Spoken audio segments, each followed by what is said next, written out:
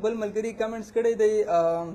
حیات الله وایي چې ډاکټر صاحب زه د زما ویښتان غورځېږي د دې لپاره ما مختلف شیمپان او مختلف ډاکټران نه مې علاجونه وکړه خو ما ته څه افاقه نه کیږي نو زه علاج له درشم که تاسو دې لپاره ما ته څه پروډکټس ښیې چې هغه استعمال ګوره جی که موږ له دلته علاج له راځي نو د اف ایچ ون اف ایچ ټو په نوم باندې موږ یو فارموله جوړه کړې ده یو ډراپ ته اف ایچ ون یو دی اف ایچ ټو دا موږ جوړ کړی دی د ویښتو هر قسمه مسله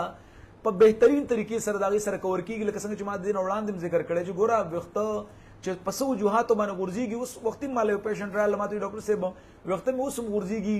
او چیرې زما د سر د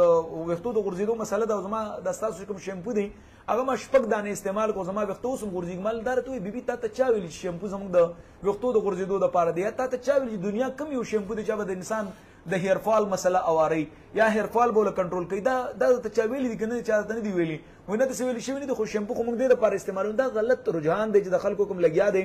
مونږ بار بار د تداوی چې مونږ له دراتلو د وختو د پر د چا مسلې دي د هیر فال چاته مسله ده بالکل د مونږ لن راځي زمونږ هم دغه فارمولا بازار کې د فارم 7 سره الحمدلله ملاويږي چې هغه ته مونږ نوم بلډونه شیمپو بلډونه ټونیک او داغه سره د خوراک دوی ملاويږي بیلډونه هیر کټ ورته ویل کیږي دا د ځان لوالي په ټول طریقه باندې د ځان پوهې کی د ویختو د پاره چې کوم د مساج کوم کریم دی ویختو کې کوم کریم لګیږي پاکستان کې فرست ټایم باندې د ویختو د پاره د ویختو د غورځېدو د کنټرول کولو د پاره موږ یو کریم جوړ کړی لکه خلکو تیل جوړ کړی وی تیل وی مختلف چونکه دور ډیر بدل شو 2023 کال لې نو دور ډیر چینج شوی د موږ ټول ته دا بار بار وایي چې تاسو د ویختو د پاره د تیلو په ځای باندې د کریمو استعمال وکړي د ویختو کم کریم دی کم ته چې بیلاډونا ټونیک ویل کیږي تاسو ورته دا ځان لواخلی ان شاء الله ډېر مسلې به مواري شي بل دین علاوه ما څنګه ذکر وکړو د خوراک د دوی کم ته چې بیلاډونا هیر کیټ ویل کیږي د کې دنه هم دغه فارموله موجوده ده څنګه چې ما ذکر وکړ اف ایچ 1 او اف ایچ 2 په نوم باندې چې هیر فال لپاره کم فارموله ده نو دا په دې کې موجوده ده نو ولې تاسو سه پیسې بم لګوي او سه برازیل ته انتظار هم کوي دلته به نمبر هم خلې نو